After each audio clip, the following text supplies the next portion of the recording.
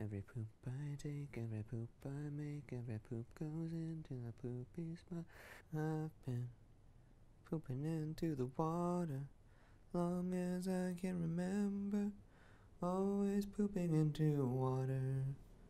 It was everybody's drinking water, but I still pooped in the water. Hey, baby. If I was sorted out by the sorting hat, do you think that I would be Gryffindor, Hufflepuff, Slyther- I think Slytherin. Ravenclaw? That's the first one that came to mind. Mm. Why Slytherin?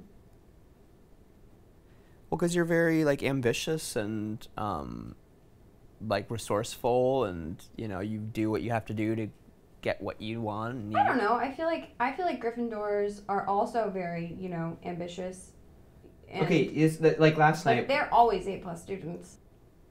This is very this is very Slytherin. C. This I w- got a 360 on my SAT. That's awesome. 3600. That's great. This is very Slytherin. You still rent movies on your ex's Amazon Prime account. but he doesn't know about it, and Yeah. you- you-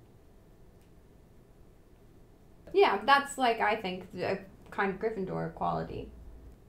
You know, yeah. I just like Gryffindor would probably just have the conversation, be like, "Hey, you owe me I money. don't know. They Also, avoid I'm on your account, and you should have it." Also, I've done lots of Gryffindor Mhm. things. I facilitated that rehab for the girl who's addicted to Oxy. Courtney from high school. Mm-hmm.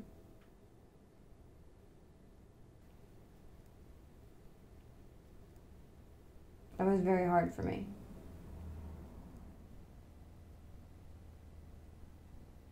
Yeah, that's yeah, sure. That's that's that's Griff. You're right. That's very Gryffindor.